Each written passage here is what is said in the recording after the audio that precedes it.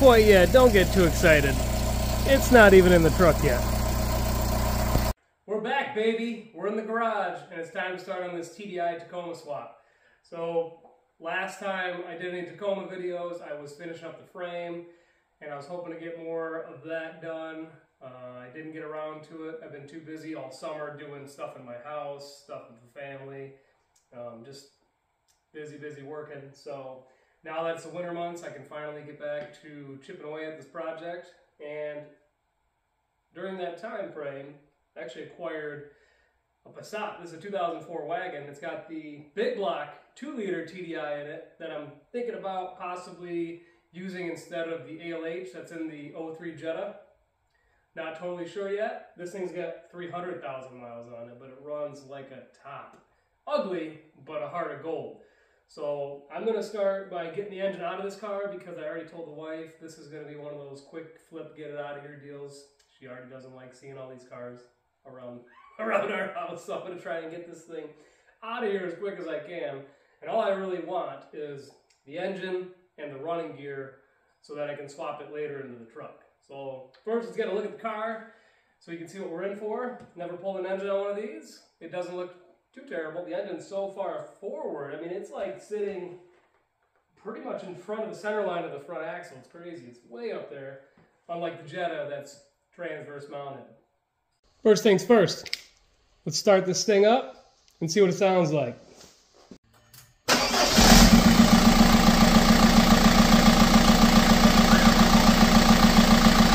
Running good. Starts up. Standard diesel noise, no excessive clatter or ticking, knocking, nothing like that. It's just got this kind of thump, thump, thump noise coming straight from the engine. I don't know that's just because it's a wide open, junky air filter. But the engine itself sounds really good. Take the cover off. It actually probably shut this thing down. Let's take a quick step back and get a bigger picture of what we're dealing with here. So this car is an 04, 300,000 miles on it. It's a rebuilt title. Somebody's already rebuilt it once. Obviously, it's got a silver front end on it. At one point, somebody had fixed it. And then another person bought it. Unfortunately, um, they only drove this thing a couple thousand miles and they hit a deer. They tried to repair it. Uh, obviously, they didn't quite know what they were doing. They did put a headlight on it um, and tie wrap some things back together. but uh, all they just decided, you know what, it's not for me. Let's get this thing out of here. I swoop in. I scored a pretty good deal on it. So I'm after it for the engine, but honestly, this car, the body panels and stuff are really nice. This thing's got no real big dents or damage on it anywhere. No rust. Inside, you know, it's got, it's dirty. Don't get me wrong, it's pretty filthy in there. But I mean, what a nice car back in the day. This thing would have been, you know, top of the line, heated leather seats, uh, nice surround sound system. Lots of cool features on a car that I honestly didn't think they had back in 2004. All right, let's get a closer look at what we're really after. This engine right here. So the Passat has the BHW TDI. It's a larger displacement, 2 liter over the 1.9 that's in my Jetta. These came with 136 horsepower and 247 foot-pounds of torque. Quite a bit more than the ALH. Now, this engine does appear to be in good running order. It's had the timing belt done at some point. As far as I can make out, that sticker says it is due at 307,000 which is maybe six, 7,000 miles away. Let's take a little peek under this cover and see. Oh, where's the other clip? There it is. Okay, let's pull it off and see. Wow. Jeez. That, I don't think it's going to make it another 6,000 miles. Maybe, maybe I'm wrong. I don't like to gamble like that, but I'd say it's got six or seven more minutes in that belt. It is looking pretty ready.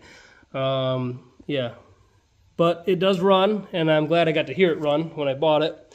Um, the camshaft on these engines tends to have issues if you do not maintain the oil properly, doing your service intervals and the intervals and the correct type of oil. As far as I can tell, it runs smooth and quiet. Doesn't seem to have a lot of issue. I didn't get to drive this thing too far because it does have some other issues, but it does drive, which is a big deal because there's quite a few of these Passats that the transmissions are completely out. And sometimes you can, you know, score a deal on the whole car just because of that. Um, getting a closer look at this side, I can see that this valve is melted. I'm not really sure what that valve does. Haven't looked into it, but it's gone. And for what I'm going to do with my truck swap, I don't plan to use that anyway. You can see some DIY EGR cooler block off plates.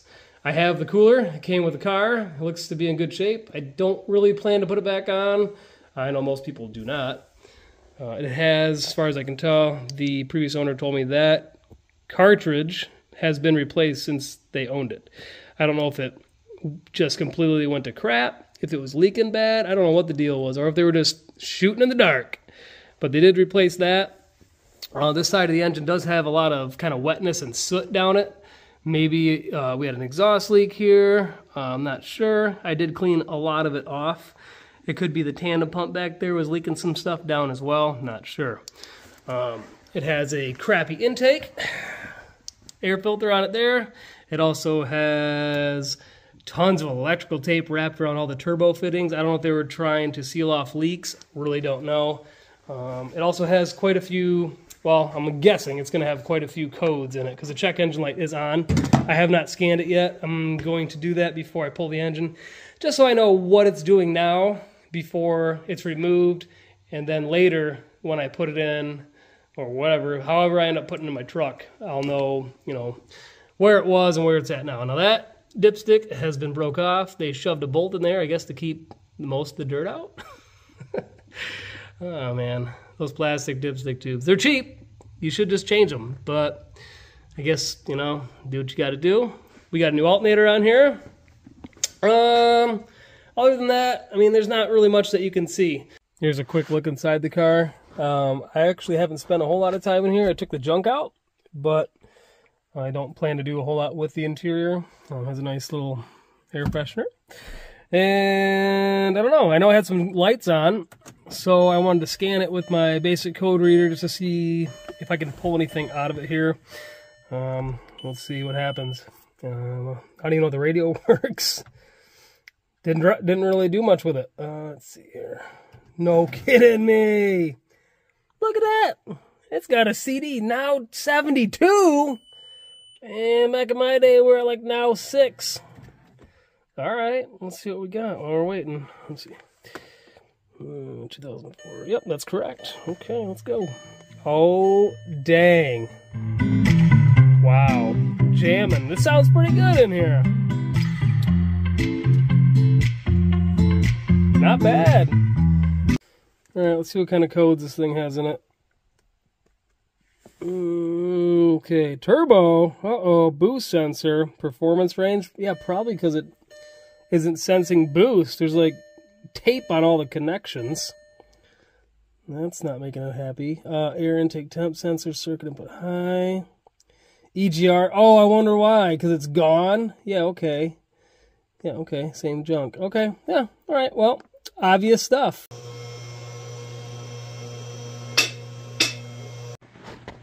Try to do just a quick look under the car. Uh, not much to see really. Um, pretty filthy down here, just as I thought. Uh, a lot of stuff has dripped down back behind the bell housing area.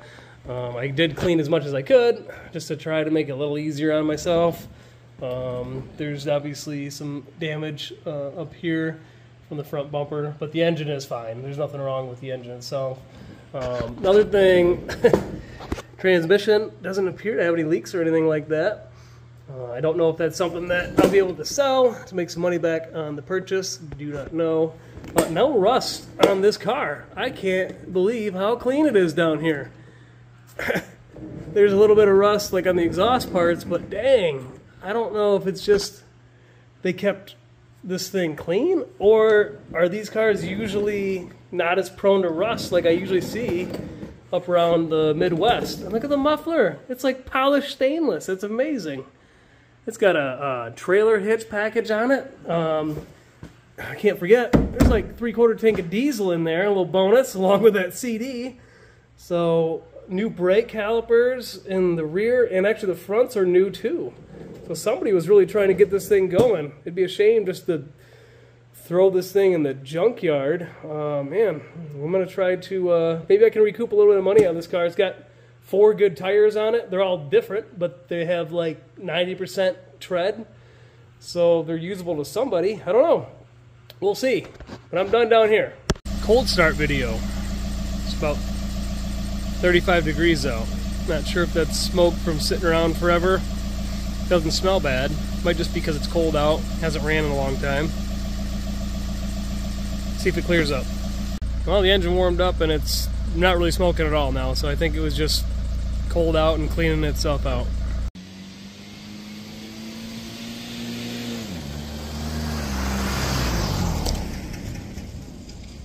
The next thing I like to do with this car before I pull the engine out, drain all the fluids and stuff, is to do a compression test. I have a diesel compression tester kit. Never used it before. I don't even know if I have the right adapter for this engine. So I need to get a glow plug out and see if I have one that will fit. Uh, for now, I am trying to get these glow plugs out. I started by, obviously, the engine covers off. I reached back here, I pulled the safety lock out of the fuel injector connector, hidden under there. It came out fairly easily. Um, twist it, pull it out. Tried to start it, did not start. I know the injectors aren't firing. This thing's not going to try to run while I'm performing the test. I removed the fuel filter from its clamp down there so I could get access to the harness. So I was able to pull all those off and get the glow plug harness out of the way. You can kind of see the glow plugs down in there. I have no idea if these are the original ones, if they've ever been changed. I'm just slowly working on them. I can say the middle um, middle two cylinders two and three are uh, came out just fine. Not a problem. Happy with those. One, little sticky. Not liking it. I've been praying to the Volkswagen gods and adding some Kroil, one of my favorite penetrants. It's soak it in there. Um, I'm kind of working it back and forth. We're going to give it a shot. Number four as well. That one is a little bit of a, a stick and twist, as I like to call it. It's it is loose now. So two, three, and four, I'm happy with. Number one, cross your fingers. Let's get it out of there. Nope, nope, don't like it. Oh, come on. Work it. Eat, eat, eat. Oh, come on. Nope, nope, nope, nope. That's a stick twist. Easy. Oh. Not a good feeling. I mean, I am pulling this engine out, so the head's likely going to come off anyways, but I really don't want to break this off. But if it's your personal car and you got to drive to work tomorrow, oh man, you better take your time. Ooh, see? Oh, big twist. Hang on. Oh, don't like it. Don't like it. Really don't like it. Oh, progress. Come on, baby. Oh, see? Come on, Kroil. Get it in there. This is nerve-wracking. Yikes. Man. What is this, holding the cylinder head on? How long is this thing? It's doing its final cries. Oh, victory! I think we got it. Yeah. It either loosened up or the threads are coming right out with this thing. I'll get my hand in there. Oh, what's it look like? Oh, man, look at that thing. Yeah, look at all the carbon. You can see the Kroil wicked its way down the threads. Look at that, it dissolved, broke down that carbon. Well, it gets pretty clean now. How about that? There's a part number on it. I don't know if it's an upgraded one, original one, but it's out and I'm happy. Battery's fully charged, all the glow plugs are out. I'm just gonna do a quick dry crank just to see if anything blows out of the cylinders.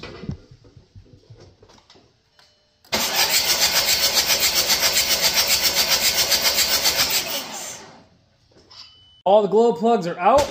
I'm really happy about that. I used a long extension and 10 millimeter socket. Good old Kroil. So that's finished. Now I'm going to try and use this Harbor Freight diesel compression tester kit. Uh, haven't really had much use with it yet, so it's a good time to try it out. It says it's supposed to fit the TDI. I've seen on the forums a lot of people have said that the Harbor Freight kit fits a TDI. In this kit, they claim this number 10 or 12 fit it. Uh, Volkswagen, obviously, I must be an older style, doesn't fit this. Or number three, that's this guy. It does have the right threads, but from what I can tell, these glow plugs seal on the tapered seat. And these aren't long enough to do that. So I don't understand how you're going to get a positive seal there.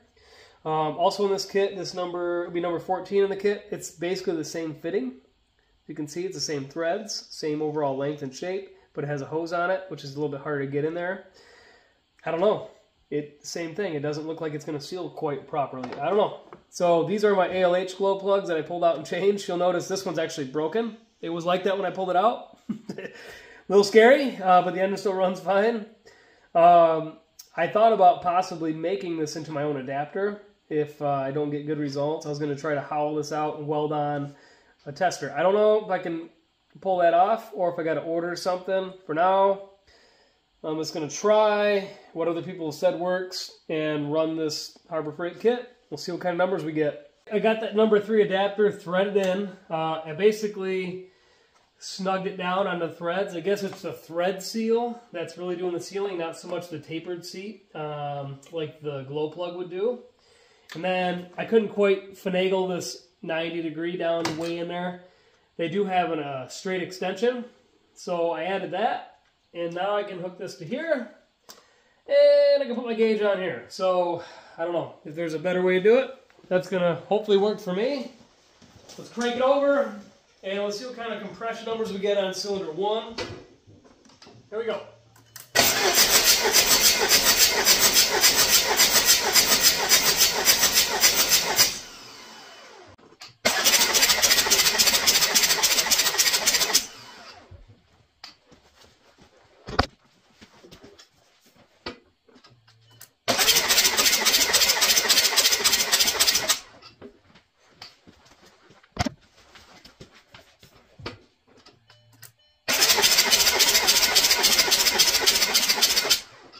Well, there you have it. Um, actually went back through all my numbers again. Now I got a system, and I'm really happy. They're all around 450 psi. It's a good, healthy engine. Still nice and warm. Uh, good ring seal, and obviously the valves, everything's uh, working quite well. Number one was a little bit lower than the rest, but I went through twice and averaged them out. So that's done. Uh, if you have the Harbor Freight kit, this will work, but like I said before, this fitting is more so sealing on the threads and not on the taper. Might not be 100%, but close enough for what we're doing. Um, I found it was best to use this guy, the straight adapter, so I could get you know far enough out to hook the gauge up like this. And that was um, what worked for me on this engine. So at this point, I'm done with that. Next thing I'm going to be doing is pulling the valve cover. I just want to look at the camshaft while it's, it's not too hard to get off, just so I can look at it. Um, and then from there, I'll be pulling this thing out. I got the glow plugs back in and torqued down. Everything's back together. Just figured I'd show the, the old blow-by test with the oil cap.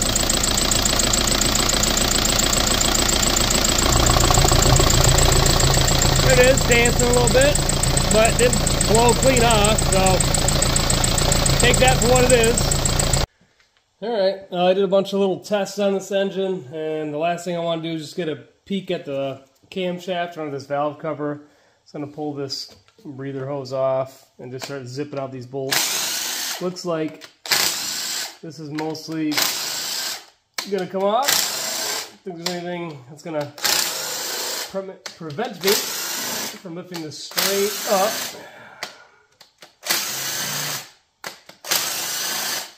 Curious to see what's under here. I haven't worked on a lot of these. Oh, that one's tricky. Oh, man, I don't know.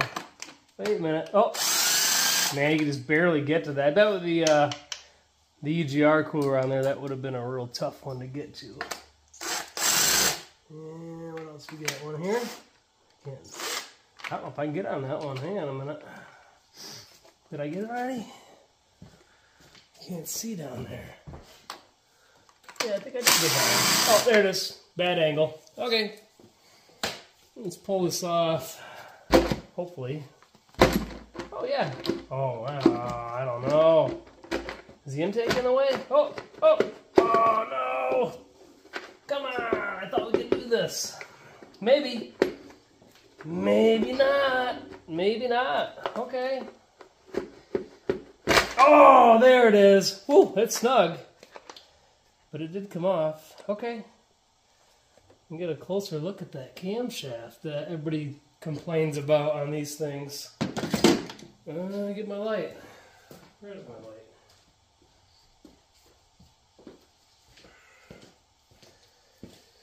Okay. Wow, that thing looks good.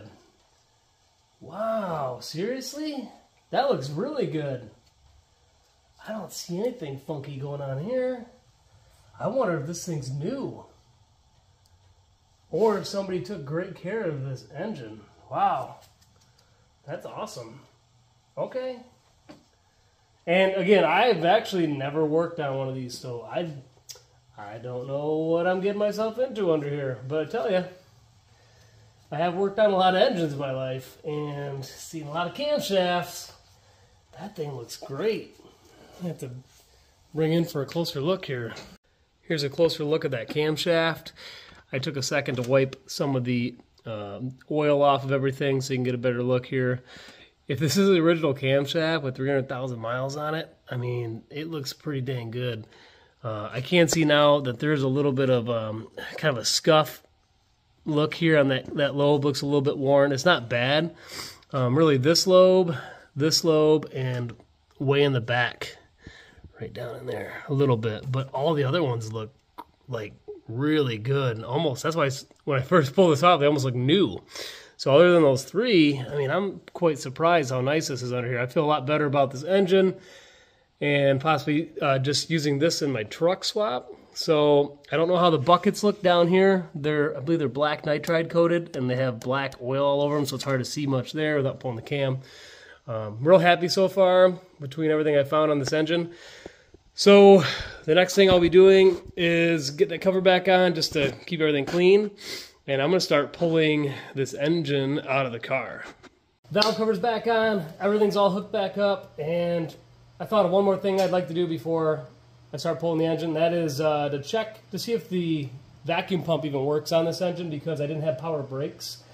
Um, so I did take a look at it visually and I found the main line off of the pump goes through this mini uh, firewall and it was unplugged. The main vacuum fitting to the booster was not even snapped in place. So I did hook that back up uh, I uh, started following the other vacuum lines and I tried to compare it to the diagram. This hood, because this is a rebuild, uh, this came off a V6 all-wheel drive, so not helpful. So I went to the internet, found the proper vacuum diagram for this engine, and I followed the lines down. I found uh, one that wasn't even hooked up, another line that was split.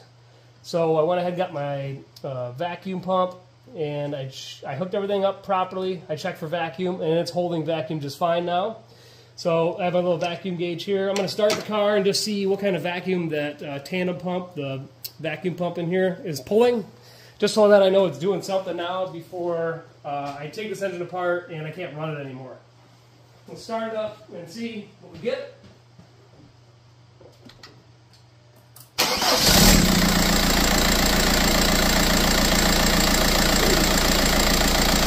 Alright, so this line goes to the pump. We'll pull it going to hook into it. And it looks like it's pulling about, wow, 20, 28 inches, 29. That's great. So it is working just fine now. I think I'm going to take it for a one more rip down the drive to see if it'll make any boost.